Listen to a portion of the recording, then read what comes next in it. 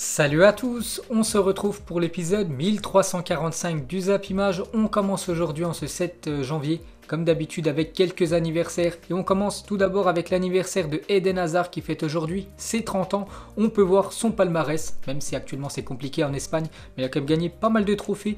Donc vainqueur de l'Europa League en 2013-2019, champion de France avec Lille en 2011, champion d'Angleterre deux fois, champion d'Espagne une fois, vainqueur de la Coupe de France et vainqueur de la Coupe d'Angleterre avec Chelsea en 2015. Eden Hazard, bon anniversaire à lui. Et une petite photo collector de lui et ses euh, deux autres frères, hein, Et euh, Torgan, donc euh, tous avec le maillot de l'équipe de France à l'époque. Ensuite, il y a un autre joueur aussi qui fête son anniversaire aujourd'hui, un très grand gardien, tellement sous-côté, c'est Jan Black, le gardien slovène de l'équipe de l'Atlético Madrid qui fête aujourd'hui ses 28 ans. Il y a aussi Clément Grenier qui fête aujourd'hui ses 30 ans. bon anniversaire à lui. Et pour finir, c'est le joueur mexicain Rezus Corona qui fête ses 28 ans. Bon anniversaire au joueur de Porto. Ensuite, on revient en France, on va parler de la journée de Ligue 1 qui avait lieu hier, hein, cette première journée pour cette nouvelle année 2021. Et on commence avec le Paris Saint-Germain pour ce premier match en 2021. Le PSG accroché du côté de l'AS Saint-Etienne, un partout entre euh, les deux équipes. On peut voir la une aujourd'hui du journal L'équipe, c'est marqué Pochettino a du boulot. Le nouveau coach du Paris Saint-Germain commence avec un match nul la première de Maurizio Pochettino sur le banc parisien a été laborieuse face à des Stéphanois solidaires. Le PSG a été dominateur mais a manqué d'efficacité. A un nouveau match sans victoire quand même pour euh, le Paris Saint-Germain. Donc on revient sur Pochettino et les premiers coachs du Paris Saint-Germain sous l'ère QSI. Et c'est la première fois qu'un nouveau coach du Paris Saint-Germain, pour son premier match en tant que coach, ne gagne pas sous l'ère euh, QSI parce qu'Ancelotti, il avait gagné, Blanc, il avait gagné, Unai il avait gagné et Thomas Tourel aussi, il avait gagné hein, lors du trophée des champions avec la belle victoire du Paris Saint-Germain 4-0 contre l'AS Monaco. Mais Pochettino pour son premier match, c'est un match nul. Ensuite, les gars, on va parler de Kylian Mbappé en grande difficulté actuellement. Kylian Mbappé, donc j'ai pas vu le match, hein, j'ai regardé le FC Barcelone hier, mais quand je vois la note qu'il a obtenue dans le journal L'équipe aujourd'hui, une note seulement de 3 sur 10, hein, c'est qu'il a été très décevant une fois de plus. Kylian Mbappé et euh, ses stats hier hein, contre l'AS Saint-Etienne, donc 20 pertes de balles quand même pour euh, Mbappé, 3 duels remportés sur 13 tentés, 0 tir cadré et 2 dribbles réussis sur 7 euh, tentés pour Kylian Mbappé, qui a vécu encore une soirée très compliquée hier. Et sur le Twitter de ActuFoot, donc ils ont posé euh, une question, ils ont dit Trouvez-vous que Kylian Mbappé a progressé depuis le mondial 2018 où vraiment tout le monde l'a découvert, hein. vraiment toute la planète a découvert le talent Kylian Mbappé, mais depuis euh, ben, deux ans et demi, hein, c'est quand même très moyen les prestations de Mbappé. Donc il y avait trois choix, soit oui, soit non, soit même pire, il a régressé. On peut voir que la plupart euh, des personnes ont mis non quand même. Depuis deux ans, ben, bien sûr, Kylian Mbappé n'a pas progressé. C'est vrai qu'il fait un peu du surplace avec Mbappé. Ces derniers temps, c'est vraiment pas ouf. Et voilà, depuis ce mondial 2018 où il avait été très très bon, ben, Mbappé, et que l'ombre de lui-même.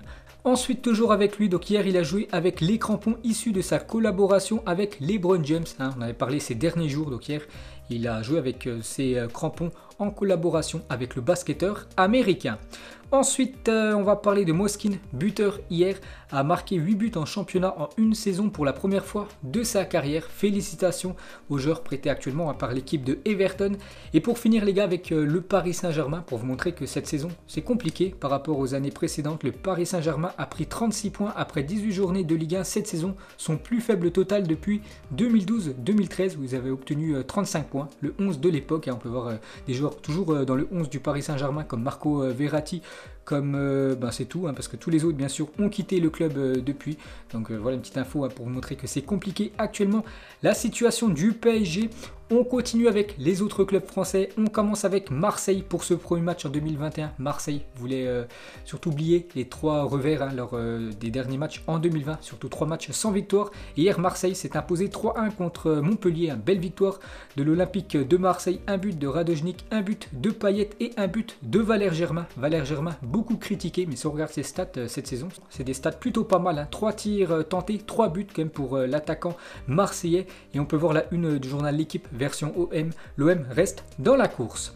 Ensuite, cette fois-ci, on va parler de l'autre Olympique, l'Olympique euh, lyonnais qui jouait contre l'équipe euh, de Lens. Lyon s'est fait peur, mais Lyon a obtenu les 3 points parce que Lyon quand même mené 3-0. Ils se sont fait revenir à 3-2. Mais Lyon, voilà, prend euh, surtout les 3 points. Et Lyon en patron.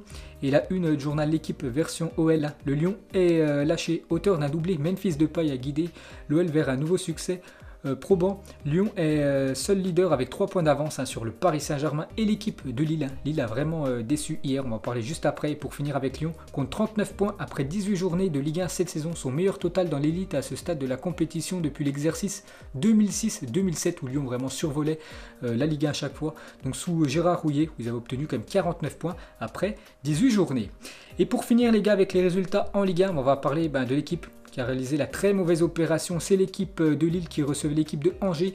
Et Lille s'est incliné à domicile. Déjà première défaite pour eux cette saison à domicile. Donc 2-1 contre Angers. Un doublé du défenseur angevin Thomas. Donc euh, voilà, il a marqué un doublé, parfait euh, pour lui. Donc très mauvaise opération pour le LOSC. On peut voir sinon tous les autres résultats de cette 18e journée de Ligue 1. La belle victoire de Monaco 5-2 du côté euh, de Lorient. Aussi la belle victoire de Strasbourg qui a écrasé Nîmes 5-0. On peut voir aussi que Nantes, hein, pour la première de Raymond Domenech, ils ont fait 0 partout contre l'équipe de Rennes. Ensuite, cette fois-ci, regardez le 11 type pour cette 18e journée de Ligue 1. On peut voir le gardien parisien Keller Navas hein, qui figure dans ce 11. La même chose pour le défenseur angevin Thomas, vu qu'il inscrit bien sûr un doublé contre l'équipe de Lille, de paille aussi est dans cette équipe et une fois de plus Paqueta aussi qui a été très bon hier. Et pour finir avec euh, cette Ligue 1, du coup un petit coup d'œil au classement, toujours l'Olympique lyonnais en tête avec 3 points d'avance comme sur le Paris Saint-Germain, deuxième, Lille euh, troisième, on peut voir que Marseille a toujours deux matchs en retard, Marseille 31 points. Ensuite, on quitte la France direction l'Angleterre. Hier, deuxième demi-finale de la Carabao Cup, donc la Coupe de la Ligue anglaise entre les deux équipes euh, rivales bien sûr du côté de Manchester. Manchester United contre Manchester City et c'est City qui est venu s'imposer 2-0 du côté de United grâce au défenseur anglais Stone.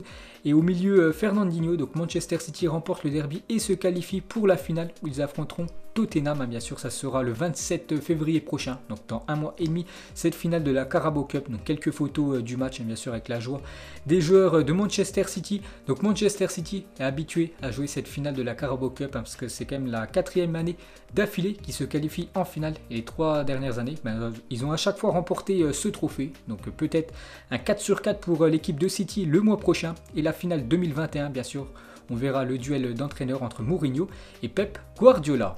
Et pour finir, on va parler juste de Manchester United, a été éliminé des 4 demi-finales disputées sous la direction d'Ole Gunnar Solskjaer, donc euh, deux fois en League Cup, une fois en FA Cup et une fois en Europa League. Remportera-t-il un jour un trophée avec Manchester? Ça on ne sait pas, mais c'est vrai que lors des 4 dernières demi-finales qu'il a disputées à chaque fois, il s'est incliné.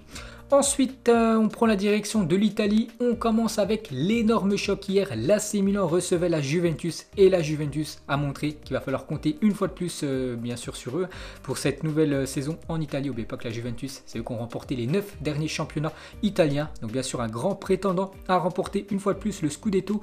Donc, la Juventus s'est imposée 3-1 du côté de l'AC Milan, un doublé de Chiesa et un but de l'Américain Mike Kenny. Donc, Ronaldo a joué, mais Ronaldo n'a pas marqué. Donc, la Juventus revient à 7 points du Milan. Il y a quand même un sacré écart entre les euh, deux équipes, donc c'est pour ça c'était victoire obligatoire pour l'équipe de la vieille dame. Donc le duo Dybala-Chiesa hier soir. Donc euh, c'est simple, hein. deux passes D de Dybala pour euh, tout simplement deux buts de l'italien Chiesa. Et pour finir les gars avec l'AC Milan a concédé bah, hier soir sa première défaite de la saison en Serie A. Les Milanais restent tout de même leaders du championnat. Donc voilà, toutes les équipes les gars dans les 5 grandes ligues européennes ont toutes perdu au moins une fois cette saison en championnat. Il restait plus que l'AC Milan. Défaite euh, hier. Ensuite on va parler bah, de l'autre Milan, l'Inter Milan. Eux aussi qui se sont inclinés hier 2-1 contre la Sampdoria. Donc l'Inter se sera imposé, mais ils auraient pris à la tête euh, du championnat italien. Donc du coup défaite hein, pour l'Inter 2-1 du côté de la Sampdoria. On peut voir une équipe actuellement en grande forme, c'est l'AS Roma qui s'est imposé 3-1 du côté de Croton. On peut voir un doublé de l'ancien joueur du Real Madrid Mayoral et un but de Mkhitaryan. Et pour revenir hein, sur euh, Mkhitaryan, l'ancien Gunners, ben, ça va plutôt bien actuellement en Italie. Donc il est en grande forme cette saison parce qu'il est actuellement le meilleur buteur euh, du club avec 8 buts et le meilleur passeur décisif du club de l'AS Roma avec 7 passes D depuis le début de la saison. Ensuite, on va parler de la défaite surprise de Naples à domicile contre le Promus Spezia 2-1. Donc ça, c'est une mauvaise opération, hein, bien sûr, pour l'équipe euh, de Naples, qui se retrouve du coup à la sixième position de cette Serie A. On peut voir le classement, toujours l'AC devant euh, l'équipe de l'Inter et la Juventus actuellement quatrième. Ensuite, direction l'Espagne, on commence bien évidemment avec le FC Barcelone qui se déplaçait hier du côté de Bilbao et victoire pour euh, le FC Barcelone, un 3-2 du côté de Bilbao. J'ai vu le match et victoire logique et méritée, hein, bien sûr, des Blaugrana. Ils auraient même pu marquer plus de buts avec Léo Messi, hein, parce que Messi hier, homme du match, il a été très très bon. Léo Messi, hein, du très grand euh, Lionel Messi hier. Donc un doublé de Messi et un but de Pedri. Donc Pedri, un but et une passe D aussi, un, sacré crack. L'ancien joueur de Las Palmas. On peut voir que les deux font la une aujourd'hui du journal euh, bah, Mondo Deportivo. Trois rois, donc deux buts de Messi et un de Pedri ont donné un Barça harmonieux pour les propulser à la troisième place de la Liga. Et euh, la une du journal Sport, c'est marqué Homme sage. La connexion entre Messi et Pedri a donné euh, la victoire au Blaugrana avec deux buts de la star argentine et un de la jeune sensation. Le Barça se retrouve pour la première fois sur les places de Ligue des Champions cette saison. C'est vrai qu'actuellement, bah, c'est le meilleur classement du FC Barcelone depuis le début de la saison. Actuellement, le Barça, troisième de Liga. Une déclaration du coach Ronald Koeman à la fin du match. Donc il revient sur la prestation XXL de Léo Messi. Il a dit Messi est au même niveau depuis longtemps. Cela ne me surprend pas. Maintenant, avec lui qui marque, je le vois heureux et à l'aise et avec une grande envie de gagner. Donc voilà, belle déclaration de Koeman. Cette fois-ci, Jordi Alba, enfin à la fin du match, il a dit Nous avons réalisé une belle prestation. Nous aurions pu marquer plus de buts, mais nous sommes satisfaits. Messi est le meilleur du monde de loin. Il a mis un doublé et touché deux fois le poteau. Nous progressons et il faut travailler. C'est vrai que Messi hier, il a inscrit un doublé. Il aurait inscrit un quadruplé dans le match. Ça aurait été exactement la même hein, parce qu'il a eu beaucoup d'occasions. Hier, euh, la star argentine. Et pour finir, les gars, Inaki Williams, buteur hier, l'attaquant euh, espagnol. Il a dit Nous avons joué une bonne première mi-temps, mais ils ont euh, le meilleur joueur du monde. Il fait tout correctement. On ne peut pas faire grand chose quand il joue comme ça et comme il l'a fait tout simplement hier soir. Donc voilà les belles déclarations envers Léo Messi. Et pour finir les gars, du coup avec cette Liga, un petit coup d'œil au classement parce que c'est un match en retard hier. Donc du coup le Barça en troisième position. Bon le Barça a toujours 5 points de retard hein, sur l'équipe euh, du Real Madrid avec 17 matchs joués. Et l'équipe de l'Atlético Madrid toujours leader, mais surtout l'Atlético Madrid a deux points d'avance sur l'équipe du Real Madrid, avec deux matchs en retard. Hein, cette équipe de l'Atlético Madrid, ainsi gagne leurs deux matchs en retard. Donc euh, il y aura un sacré creux entre bah, eux et bien sûr les deux euh, poursuivants. Et pour finir avec l'Atlético Madrid, donc eux jouait hier, mais pas en Liga, en Coupe du Roi. Énorme surprise, hein, parce que l'Atlético Madrid a été éliminé de la Copa del Rey dès les 32e de finale par euh, Cornella, une équipe de 3 division espagnole. C'est une sacrée surprise. Hein. Donc euh, l'Atlético déjà éliminé. Donc euh, je me suis dit, ils ont dû mettre, enfin Diego Simon, il a dû mettre une équipe B, une équipe quasiment C de, de l'Atlético hein, pour perdre. Pas du tout les gars, regardez le 11 de départ, il y avait quand même Félix, il y avait Kondogbia, il y avait même, ben, je sais pas, Vitolo, même Correa, voilà, des joueurs cadres hein, de l'équipe première. Et malgré ça, ben, l'équipe de l'Atlético déjà éliminée. Et on peut voir que le parcours de l'Atlético en Coupe du Roi lors de ces dernières saisons, c'est très très compliqué donc cette année, hein, c'est la pire année parce qu'ils sont éliminés dès le second euh, tour, alors que l'année dernière c'était 16e de finale, il y a deux ans les 8e de finale et euh, il y a trois ans c'était en quart de finale, hein, l'Atlético en Coupe du Roi. Ils ont beaucoup de mal. Ensuite, toujours avec le football espagnol, donc ça fait longtemps que je n'ai pas montré quelques photos de l'avancée des travaux au Santiago Bernabéu, le stade du Real Madrid, donc actuellement en rénovation. Donc vous savez que le Real actuellement joue euh, du côté euh, du centre d'entraînement, hein, le stade Alfredo Di Stefano. Donc quelques photos de l'avancée des travaux. On peut voir bien sûr que le toit est en train d'être mis euh, en place, hein, parce qu'il y aura un toit lors de ce futur stade, bien sûr, du Real Madrid, hein, qui va être magnifique et qui devrait être dispo normalement octobre 2022. Ensuite, euh, toujours avec le Real Madrid, donc euh, prochain match du Real Madrid, normalement c'est samedi à 21h du côté de Osasuna. Et euh, des chutes de neige ont eu lieu il y a quelques jours à Pampelune et ses environs, donc du côté de Osasuna. Donc la tenue du match Osasuna-Real Madrid pourrait être menacée plus de précision dans les prochains jours. Donc on en saura un petit peu plus certainement demain. Ensuite, on va parler de Marc Bartra a posté cette photo sur Instagram aujourd'hui, l'ancien joueur bien sûr du FC Barcelone maintenant du côté du Betis Séville. Donc euh, il a mis euh, une photo de lui dans un, je dans un euh, tuyau. Et Iker Casillas a lâché ce commentaire c'est une machine à remonter le temps. Moi je retournerai au 16 avril 2014 et je pousserai Gareth Bell pour lui faire rater son débordement. Vous vous souvenez bien sûr de ce match final de Copa del Rey entre bien sûr le Barça et le Real Madrid. Et cette humiliation faite par Gareth Bell envers Marc Bartra, il avait pris deux vitesses il était même sur euh, la ligne de touche, bien sûr. Et euh, Gareth Bell, juste après, était parti marquer euh, un but. Donc voilà le pic quand même envoyé par Iker Casillas à Bartra. Ensuite, il y a 3 ans, jour pour jour, Philippe Coutinho rejoignait le FC Barcelone contre 145 millions d'euros en provenance de Liverpool. Son bilan au Barça depuis 3 ans, 90 matchs, 23 buts et 14 passes décisives. Hein. C'est un sacré flop, bien sûr, Philippe Coutinho, qui a été même prêté la saison dernière du côté de l'Allemagne, hein, du côté du Bayern Munich. Il a même puni, ben, bien sûr, son club, hein, voilà, du Barça, vu qu'il avait inscrit deux buts lors de ce 8-2 légendaire en Ligue des Champions la saison dernière. Donc voilà une petite info sur Philippe Coutinho. Ensuite, on continue avec un autre Blaugrana, c'est Carles Alena qui a fêté il y a quelques jours ses 23 ans et prêté à Retafe jusqu'à la fin de la saison. Donc euh, bonne euh, continuation à lui, hein. c'est vrai qu'il joue très peu du côté du Barça, il jouera un petit peu plus du côté de Retafe. Ensuite, on va parler de Mesut Özil, il aurait trouvé un accord avec Fenerbahce, il devrait s'engager jusqu'en juin 2024 et ça c'est une bonne nouvelle hein, pour euh, Mesut qui joue plus du tout avec l'équipe de Arsenal. Donc du coup, il devrait bah, signer au moins 4 ans du côté de Fenerbahce. Ensuite, les gars, on va parler euh, de Sébastien Haller, va signer à l'Ajax Amsterdam contre 25 millions d'euros. Ça devrait se faire très prochainement, arriver à l'été 2019 contre 45 millions d'euros.